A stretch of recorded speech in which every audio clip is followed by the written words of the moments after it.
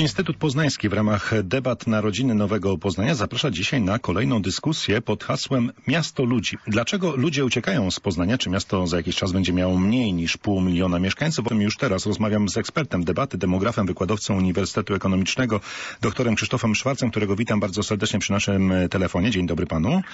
Dzień dobry panu, dzień dobry państwu. A na drugiej linii jest z nami też koordynator projektu Narodziny Nowego Poznania, Dominik Łagowski. Witam pana również bardzo serdecznie. Dzień dobry dzień dobry. Panowie, na jakie pytania dzisiaj będziecie odpowiadać w czasie tej debaty? Generalnie chciałbym, żeby został poruszony temat tego, czy Poznań w najbliższych latach przestanie być miastem co najmniej półmilionowym, chociaż już warto stwierdzić o tym, że według danych meldunkowych w Poznaniu zameldowanych jest mniej niż pół miliona mieszkańców, co miało przełożenie w ostatnich wyborach samorządowych, kiedy do Rady Miasta wybieraliśmy 34 radnych, a nie 37, jak było to w latach poprzednich. Jednak Główny Urząd Statystyczny publikuje dane dotyczące liczby osób mieszkających w mieście według metody tzw. bilansowej i według tych danych nadal Poznań jest miastem co najmniej półmilionowym. Ale prognozy są nieuważane. No właśnie, to jakie są, te, jakie są te symptomy i co powoduje, albo może to drugie pytanie, ale, ale co powoduje ten odpływ mieszkańców ze stolicy Wielkopolski? No właśnie, na stan ludności składa się liczba urodzeń, liczba zgonów, wyjazdy, przyjazdy. Zatem te, ten bilans musiałby być na plusie, żeby liczba ludności się zwiększała, a jest na minusie, więc należy głównie patrzeć pod kątem ruchu wędrówkowego. Tu głównie Poznań traci. Wyjeżdżają ludzie, głównie młodzi z małymi dziećmi. Taka jest prawidłowość. Wykres struktury, struktury osób wyjeżdżających według wieku pokazuje właśnie taką fajną prawidłowość. Głównie to są osoby w wieku 30-40 lat i 0,4 lata, czyli rodziny z małymi dziećmi. Czy w czasie debaty również będziecie szukać odpowiedzi na to pytanie, co zrobić, żeby tych młodych ludzi zachęcić albo stworzyć im takie warunki, żeby jednak e, chcieli zostać tutaj w Poznaniu? Chciałbym, żeby ten temat został e, poruszony, omówiony, tak? Co zrobić, żeby chęcić głównie rodziny, głównie rodziny do tego, żeby się, żeby zostawały w Poznaniu, bo tu nie chodzi o to, żeby nie przyjeżdżały, tak? Wykres pokazuje, że do Poznania przyjeżdżają studenci i to jest grupa osób, która charakteryzuje się dodatnim saltem migracji, ale po ukończeniu nauki, po ustabilizowaniu sytuacji zawodowej, rodzinnej opuszczają miasto. Co zrobić, żeby tą, ta, tą prawidłowość odwrócić? To zanim, zanim pana doktora zapytam, jeszcze postawię to samo pytanie, które przed chwilą pan zawiesił w powietrzu, to, to może dopytam tutaj pana Dominika Łagowskiego, kogo jeszcze doprosiliście do debaty oprócz moderatora jej, z którym właśnie rozmawiamy? Halo, halo, panie Dominiku? Halo, tak. Chciałem dopytać, kogo doprosiliście jeszcze oprócz moderatora, z którym rozmawiamy do debaty? Oczywiście. Do debaty zaprosiliśmy przedstawicieli nauki przede wszystkim. Pana doktora habilitowanego Michała Michalskiego, to jest kulturoznawca, profesor Uniwersytetu Adama Mickiewicza w Poznaniu. Pana doktora habilitowanego Jakuba Isańskiego, także profesor Uniwersytetu Adama Mickiewicza w Poznaniu, socjologa, a także byłego kandydata na urząd prezydenta miasta Poznania, pana doktora Tadeusza Zyska, psychologa i socjologa oraz wydawcę. No i teraz wracam jeszcze do pana doktora Szwarca z tym zawieszonym pytaniem. Czy pan by się odważył udzielić na nie odpowiedzi? Szanowny panie redaktorze, moim zdaniem obija się wszystko o politykę mieszkaniową miasta. Ceny mieszkań w mieście są wyższe niż chociażby w sąsiednich gminach i młode osoby widząc jak się kształtują ceny, wybierają tam, gdzie jest po prostu taniej. Mhm. A dojazd do pracy, mogą nawet pracować, dzieci uczyć się w Poznaniu. Dojazd do pracy nie sprawia większego problemu, ponieważ jest, myślę, że dobrze zorganizowana komunikacja, tutaj można powiedzieć metropolitalna, nie tylko miejska, ale obsługiwane są sąsiednie gminy. Drogi dojazdowe też są dosyć dobre, więc można czasami z poza Poznania szybciej dojechać do pewnego punktu w mieście, niż z jednego punktu w mieście do innego punktu w mieście. I y, młode osoby racjonalnie na to patrzą, widzą, że taka jest sytuacja. Myśli pan, że liczą dokładnie? Liczą, że, że te przejazdy, dojazdy będą i tak tańsze niż y, spłacanie wyższego kredytu za droższe mieszkanie? Ten kredyt właśnie to też jest ciekawa sprawa, ponieważ wiadomo, że mm, osoby na dorobku, no ciężko, no, w większości pewnie nie stać na to, żeby wyłożyć gotówkę i kupić dom czy mieszkanie nawet poza miastem, dlatego wchodzi w grę kredyt, ale proszę zwrócić uwagę też, że kupując mieszkanie w Poznaniu, oprócz tego kredytu jeszcze trzeba płacić opłatę eksploatacyjną do spółdzielni, która mała nie jest. Mhm. Więc mi- mieszkając w domku pod Poznaniem, ta opłata odpada. Myślę, że młode osoby dobrze kalkulują.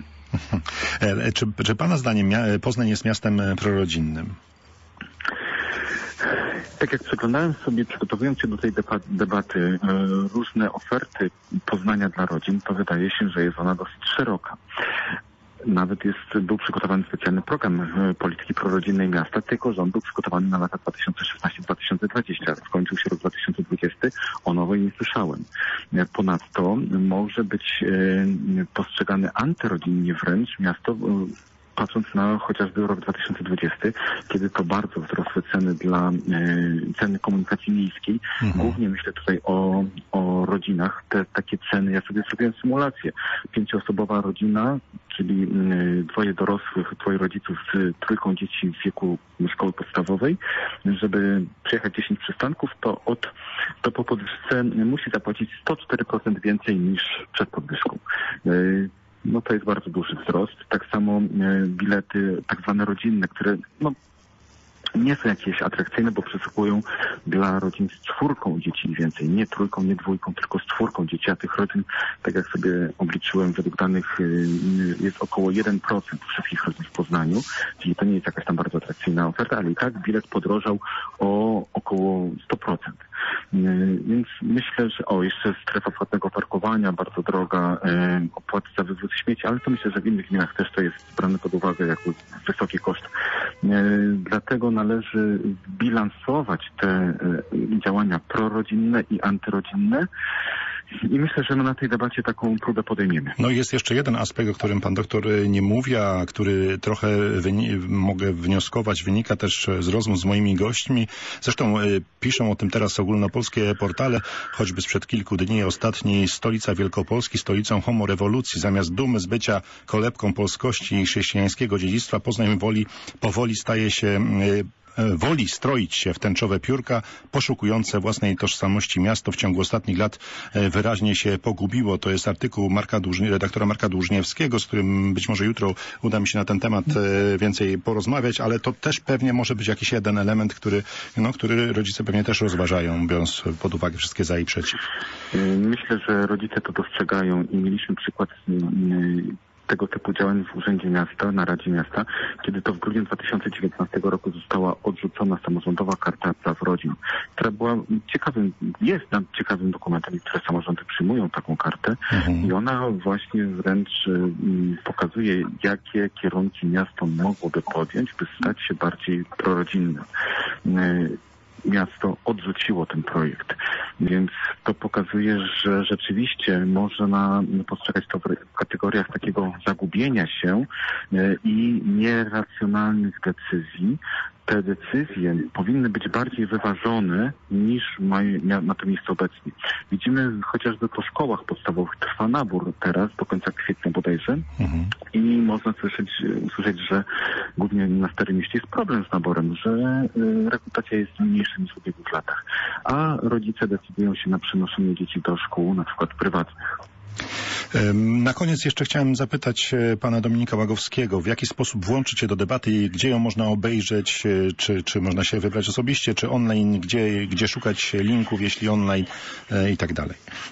Oczywiście, oczywiście przez pandemię jesteśmy zmuszeni do przejścia do tej całkowicie sfery e, online, ale, ale to nie przeszkadza w organizowaniu debaty, ponieważ nasza debata będzie transmitowana e, online e, w internecie, przede wszystkim na naszych portalach społecznościowych. Można znaleźć wpisując Instytut Poznański na Facebooku, na Twitterze czy na YouTubie, tam o godzinie 18, a nawet może chwilkę przed już ruszy transmisja Będzie można zadawać też pytania e, w komentarzach. Postaramy się te najciekawsze z nich wybrać, przekazać naszym dyskutującym, m, aby mogli się do nich odnieść. E, Myślę, że e, dzisiejsza debata zapowiada się dość ciekawie, ponieważ porusza e, porusza tematy związane z, bezpośrednio z naszą społecznością lokalną, co, co najbardziej dotyka mieszkańców Poznania, więc y, czekamy na interesujące pytania.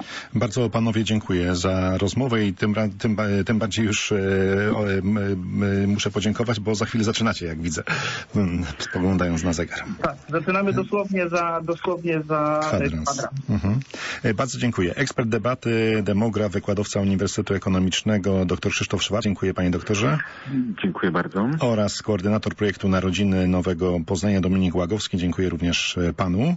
Dziękuję serdecznie. Przypomnijmy, Instytut Poznański w ramach debaty Narodzin Nowego mm, Poznania zaprasza Państwa na kolejną dyskusję pod hasłem Miasto Ludzi. Początek tej debaty w internecie o godzinie 18.